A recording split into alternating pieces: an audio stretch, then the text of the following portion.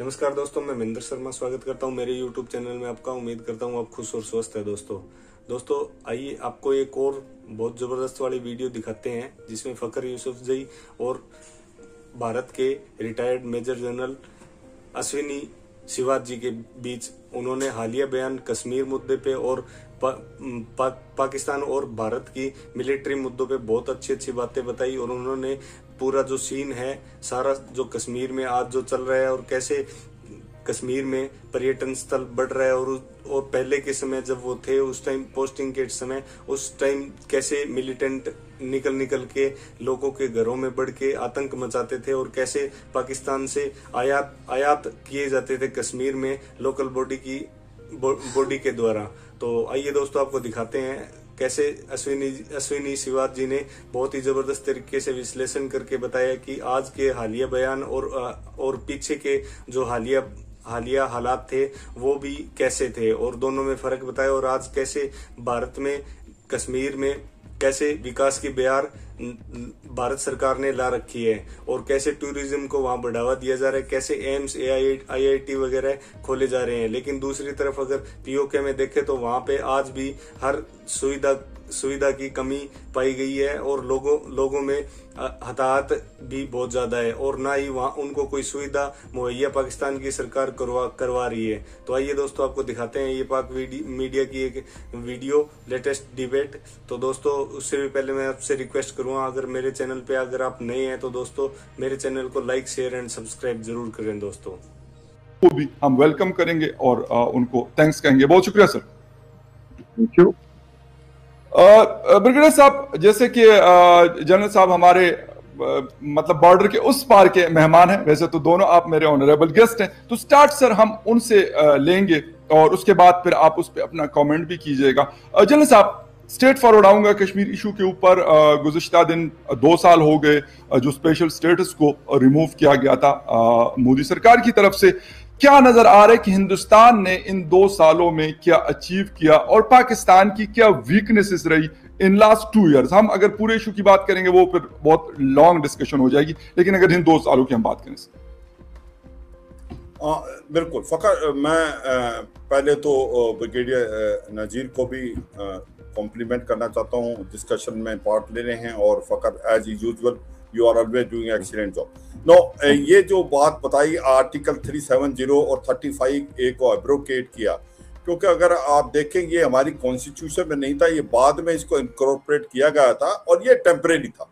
क्योंकि ये टेम्परेरी था, इसलिए इसको अब महसूस किया गया, इसकी ज़रूरत नहीं। इसके एब्रोगेट करने के बाद बहुत कुछ तरक्की हुई है जम्मू और कश्मीर के अंदर। जैसा आप जानते हैं, जम्मू एंड कश्मीर के जो है दो हिस्से हो गए थे।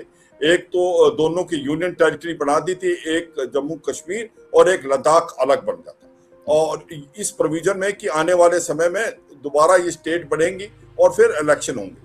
तो जो ये दो भिन्न, दो साल के अंदर हुआ है, उसके अंदर जो प्रोग्रेस है, उसके बारे में मैं चंद एक बात बताना चाहूँगा कि एक तो वहाँ पर ग्रास रूट लेवल पे डेमोक्रेसी आई। वहाँ पर पंचायत इलेक्शन हुए डिस्ट्रिक्ट डेवलपमेंट काउंसिल के इलेक्शन हुए, वो काफ़ी सक्सेसफुल हुए। और मिलिटेंसी का जो लेवल था, वो भी बहुत ज़्यादा रिड्यूस हुआ। करीब करीब हमारा जो ऑल आउट ऑपरेशन था, उसके अंदर सवा सौ के करीब टेररिस्ट मारे गए हैं ये करीब करीब सवा साल में।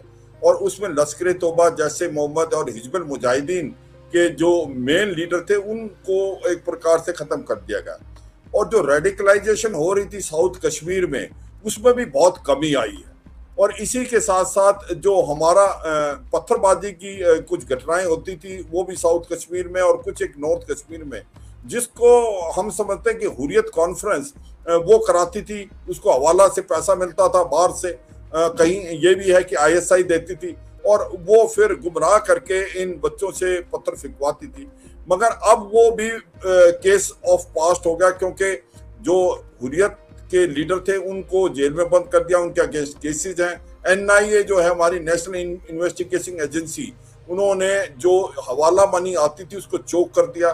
तो अब जो है कि पत्थरबाजी की घटनाएँ बिल्कुल नहीं हो रही। इसी प्रकार से जो इन्फिल्ट्रेशन थी वो भी बिल्कुल कम है क्योंकि एक तो भारत और पाकिस्तान के बीच में सीज फायर है आपस में और एक हमारा जो काउंटर इन्फिल्ट्रेशन ग्रिड है वो बहुत पुख्ता है और उसके कारण अभी ना के बराबर हुई है इन्फिल्ट्रेशन लास्ट दो से तीन महीने में। तो ऐसे में एक बड़ा डेवलपमेंट का माहौल एक पीस का माहौल जम्मू कश्मीर में आया है और ऐसे में टूरिज़्म जो है उसमें बहुत ज़्यादा इजाफा हुआ है। इस बार जो टूरिस्ट आए हैं वो कोविड 19 को भी देखते हुए कि आज आपके पास कश्मीर घाटी के अंदर कोई ऐसा होटल नहीं है आपको जगह मिल जाए। इसी प्रकार से हॉर्टिकल्चर में है। उसके बाद होटल इंडस्ट्री काफ़ी अच्छा कर रही है और कोटेज इंडस्ट्री कर रही है। अब क्योंकि लोग पहले इन्वेस्ट नहीं करना चाहते थे कश्मीर में क्योंकि उनको पता था कि हम वहाँ उसके मालिक नहीं बन सकते। तो लोग कतराते थे, मगर वो अब हट गया है। तो इसलिए काफ़ी हद तक इन्वेस्टमेंट आई है। डेवलपमेंट हो रही है एम्प्लॉयमेंट आई है। तो मैं यही कहूँगा फकर अपने ओपनिंग रिमार्क्स में कि एक पीस का और एक डेवलपमेंट का माहौल आया है जम्मू एंड कश्मीर में और अभी आने वाले समय में जम्मू एंड कश्मीर जो है वो में डिलिमिटेशन की प्रतिक्रिया चल रही है। वो जैसे खत्म हो जाएगी उसके बाद इलेक्शन होंगे असेंबली इलेक्शन और उसके बाद इसको पूरा स्टेट हुड दिया जाएगा। ये एक रोड मैप है जो कि प्राइम मिनिस्टर मोदी ने सभी पार्टी मेंबर से मिलके उनको भी ये बता दिया है कि आने वाले समय में इस तरीके से हम काम करेंगे। ओके सर बिल्कुल बिल्कुल सही है जनरल साहब, आपने बिल्कुल डिटेल बात की। ब्रिगेडियर साहब, हम पाँच अगस्त पिछले दो सालों से मनाते हैं। अभी भी और आप भी क्योंकि इस्लामाबाद में रहते हैं, मुख्तलिफ़ चौक्स में तस्वीरें लगी है नरेंद्र मोदी जी की और बहुत सारे और लोगों की तस्वीर लगाई गई हैं। ये सारी चीज़ें बड़े ज़ोर ज़ोर से हॉर्न बजाए गए गुजशत दिन इस्लामाबाद के अंदर, उनकी तस्वीरों के पास खड़े होके। क्या इन चीज़ों से जो कश्मीर काज है, उसको कोई फ़ायदा होता है? आप मतलब एज ए डिफेंस एनालिस्ट आप चीज़ों को बड़े करीब से देखते हैं, इस तरह के इश्यूज़ को। क्या उससे कश्मीर का जो इशू है, वो सही तरीके से उजागर होता है? या मतलब मैं अपना जाती ख्याल आपको बता रहा हूँ, मुझे नहीं लगता कि इस तरह की चीज़ों से शायद ही कोई उन लोगों की मदद होती है, अगर वो हमारी मदद चाहते हैं तो। जी, बहुत शुक्रिया जनरल साहब ने काफ़ी तरक्की के मौके और ओपनिंग बता दिए।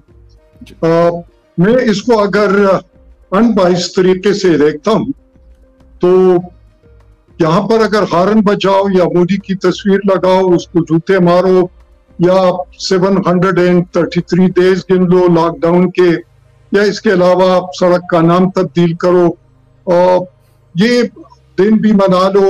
और दीज आर ऑप्टिक्स जबकि सब्सटेंस जो है, वो डिफरेंट है।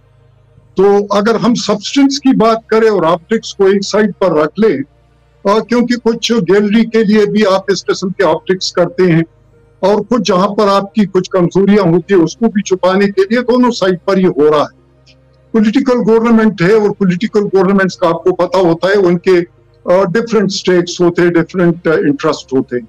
वहाँ पर भी मोदी सरकार का ये है, यहाँ पर भी हमारे सरकार का ये लेकिन मैं कहता हूँ कि ये जो three seven thirty three days जो हो, हो चुके हैं इसके दरमियान अगर वहाँ पर इन्वेस्टमेंट हुई है वहाँ पर टूरिज़्म आया है वहाँ पर बिल्डिंग वगैरह बंद हो चुकी है या